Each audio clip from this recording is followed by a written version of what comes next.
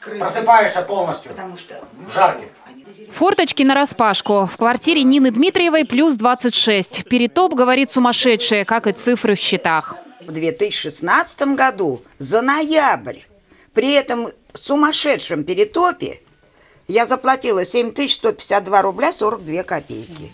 Топят они очень неравномерно. Соседка по дому Дина Багаева жары не чувствует. Хотя батарея длинная, значит и тепла должно хватать, но нет. Это я еще сегодня хорошо, а это тепло. А так я в теплой кофте. И сплю в кофте.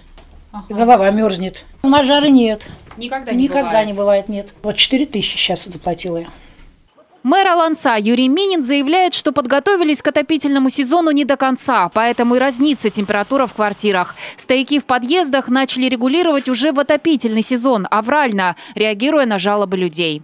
В одном подъезде угловая квартира кому-то было жарко, а в другом подъезде кому-то было холодно, и силами управляющей компании они попытались в процессе отопления отопительного сезона начали регулировать стояки. Количество поступившего тепла в дом по итогам этих регулировок превысило норматив, и естественно, что гигакалории, которые потребляет весь дом, распределились по совокупности площадей квартир.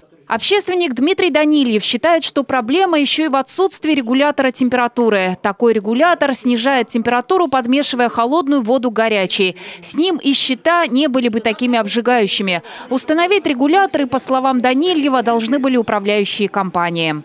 Это нужно было сделать в межотопительный сезон. Не справились управляющие компании с убеждением жителей за этот межотопительный сезон, чтобы вот эти работы провести. Сейчас жители Аланца с содроганием, кто от жары, кто от холода, ждут новых счетов за тепло. Юлия Кучеренко, Евгений Евдокимов, телеканал Ника Плюс.